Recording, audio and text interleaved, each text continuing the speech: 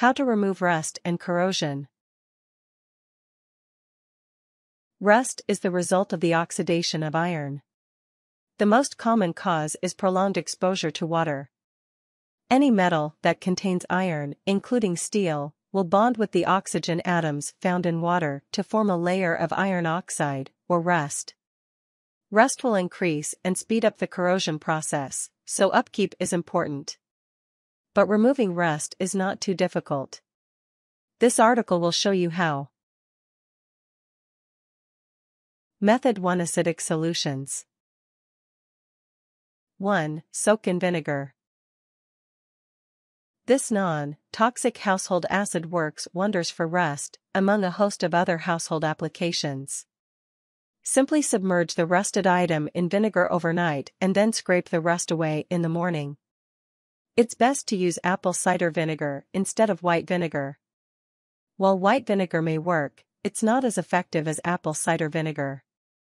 Although vinegar is effective, it is also relatively mild. You may need to soak the item for longer than overnight, a day might be best. After removing the rusted item from the vinegar, dip a crumpled, up ball of aluminum foil into more vinegar and scrape away at the rust. 2. Use lemon or lime juice. Lemon or lime juice works particularly well for rust stains on clothing, but it can also be effective on metal if left to work for long enough time. Sprinkle salt over the rusted area, let soak with lemon or lime juice, and then scrape away with a crumpled, up aluminum ball. 3. Get scientific with phosphoric or hydrochloric acid. Phosphoric and hydrochloric acids are common household items that are inexpensive and work well on rust. Hey race what you can find them in, and how to use them. Phosphoric acid is actually a rust converter in that it turns iron oxide, or rust, into ferric phosphate, a black coating. Soak the rusted material in phosphoric acid and leave overnight.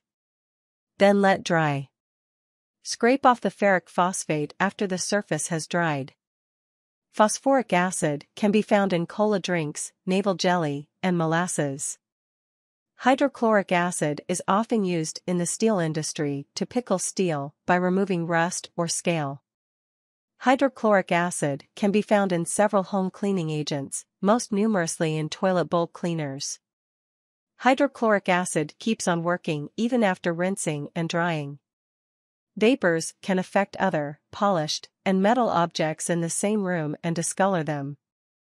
One way to prevent this is to heat the treated object in an oven or fire.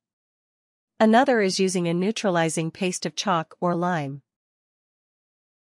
4. Use a potato. The oxalic acid in potatoes helps remove the buildup of rust. This method is especially useful for smaller rusted items, such as knives. There are two ways you can use a potato to remove rust. Simply stab the knife into potato and wait a day or overnight. Be careful when stabbing the potato. Remove the knife from the potato and scrub away the rust. Slice a potato in half, coat the inside with a generous portion of baking soda, and go to town on the rusted surface with the baking soda coated potato. Wipe afterwards with an abrasive material, such as steel wool. 5. Check to see what other acids you have available in your home. Oftentimes, you can create your very own rust removal solution without even leaving the kitchen. Pretty much anything acidic will start to loosen and eventually remove the iron oxide. Homemade solutions work particularly well with smaller rusted objects. The active ingredient in most store bought chemical solutions is some form of acid, usually phosphoric or hydrochloric, and most acidic substances found in your home can perform the same trick. If you have any questions about interactions of acids or chemicals, do some quick research before using them. Although most household items are perfectly acceptable to use in combination, some interactions are best avoided. 6. Remove rust with fizzy cola drink. Place the rusty item inside of a glass or larger vessel filled with cola drink. simply let it sit or just dip it. After each half hour, check for progress. The cola should do the job.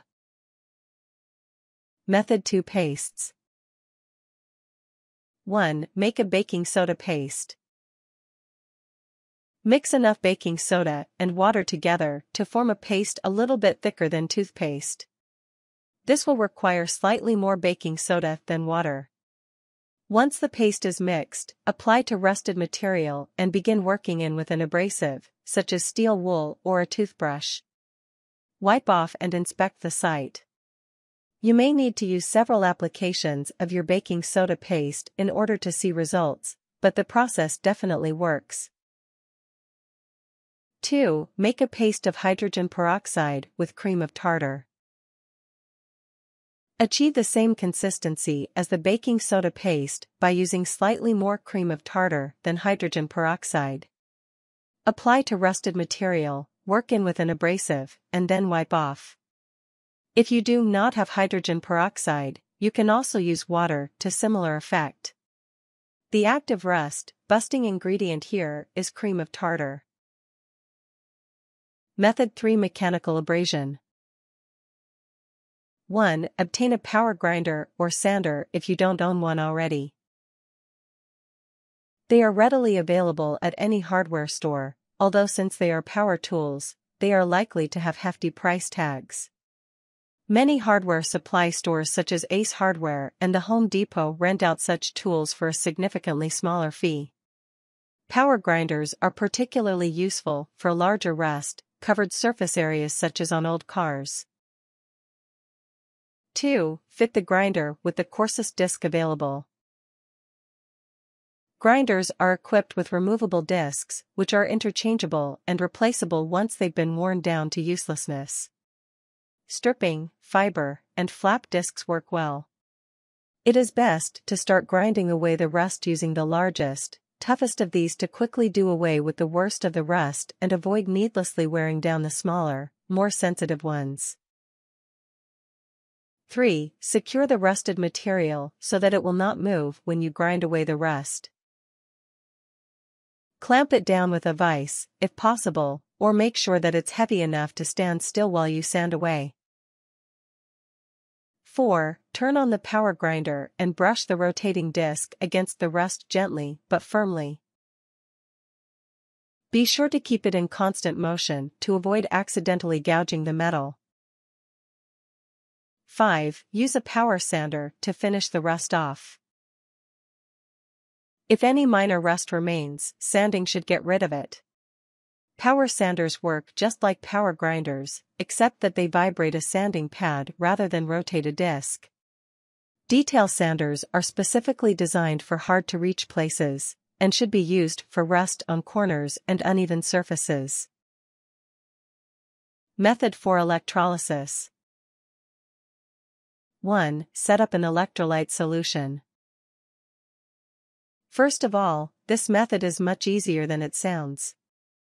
Fill a plastic bucket with enough water to submerge your rusted object and mix 1 tablespoon of baking soda or washing soda per gallon of water. Use hot water, the warmer the water, the better. Mix well until it dissolves. 2. Use a different, sacrificial piece of steel as an anode. The electrolysis process will take the rust from the object you want to clean and eventually attach itself to this metal.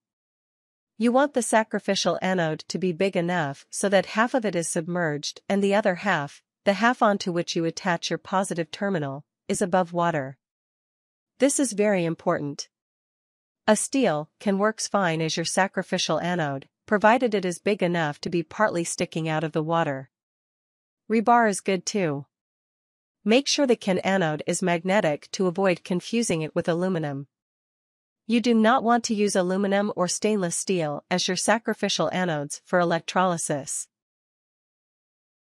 3. Connect a negative terminal, black in color, from a battery charger to a rust-free section of your rust-covered object for a good connection.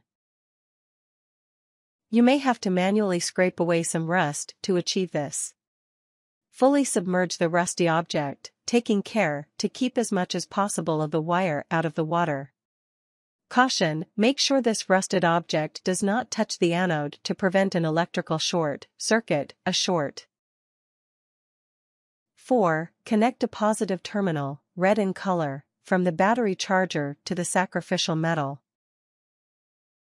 Remember not to submerge the sacrificial metal completely, or you'll risk eating away at the positive terminal, which you don't want to be eaten away. If the sacrificial metal is completely submerged, consider using another wire as a mediator, connection between it and the car battery charger lead to keep the charger terminal and connection dry. 5. Plug in the car battery charger and turn it on. The electrolysis process will gradually start working away at the rust. Let it sit for 12, 20 hours. Caution, if you ever want to check the status of your rusted object, be sure to turn off and unplug the battery charger first. You will see bubbles rise to the surface and muck gather at the surface. Both of these things are normal. 6. Unplug the car battery and remove the leads from your objects. When taken out, your rusted object should be rust-free, but still in need of some cleaning. Use a Scotch-Brite pad to remove any sludge on the object and a bristle brush to clean those harder to reach spots. Method 5 Commercial Chemicals 1. Purchase a chemical rust remover. Yes, they exist, but often the main component is some form of acid which can cause the fumes to be toxic or semi-toxic. The rust removers can be purchased at any hardware supply store and some auto body shops. Some optional brands include Evapo, Rust, Metal Rescue Rust Remover Bath, Safe on Paint, Plastics, and Skin, Acid Magic, The Works, 20% HCl, Hydrochloric Acid, The Works Basic, 9.5% HCl, hydrochloric acid, and WD-40, lightweight oil. Use protective wear when handling commercial rust removers. Protective wear includes goggles, gloves, and a face mask or respirator. 2. Apply the solution. This is where the rubber really hits the road. You want to give the cleaners time and elbow grease to work their magic. You can do this in several different ways. Some chemical solutions come already in a spray containers. Spray lightly and accurately onto rust and let sit overnight for heavy rust. 3. Rinse with water and dry. Try to get as much of the commercial rust remover off your item as possible. Hit the item with a blow dryer, if possible, so that the item is completely dry and rust is discouraged from returning. 4. Scrape off any remaining rust. Most of the rust should have been loosened overnight and the remainder should come off easily. 5. Repeat the process if necessary. The amount of wait time necessary to remove the rust depends on the item in question, how badly it is rusted, and how well the store-bought product works. Sometimes, the metal needs to be treated with the solution more than once, particularly if the rust is on a vertically standing object. Tips Once the rust has been removed, it can rust again.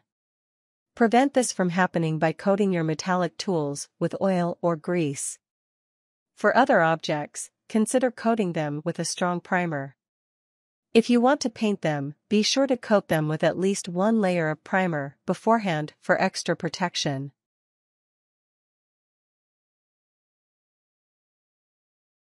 Warnings Grinding and sanding unevenly can grind away at the metal itself. If a particular object is valuable, consider using a chemical solution or electrolysis. Avoid breathing any strong acid fumes, always provide adequate ventilation when working with an acid. It can irritate the throat and lungs, especially in those people with asthmatic or lung conditions.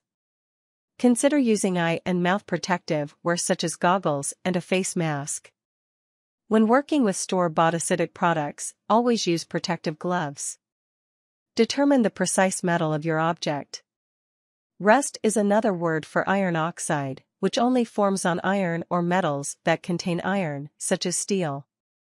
All metals corrode, albeit in different ways, and other metals have their own version of rust. Some of the methods described above, such as electrolysis, are designed specifically for rust and should not be attempted to clean other metals. Take special care when using electrolysis to clean rust. You are using live electrical currents. Make sure your container is non-conducive, plastic works best, use rubber gloves, and do not cause the negative and positive wires to come into contact.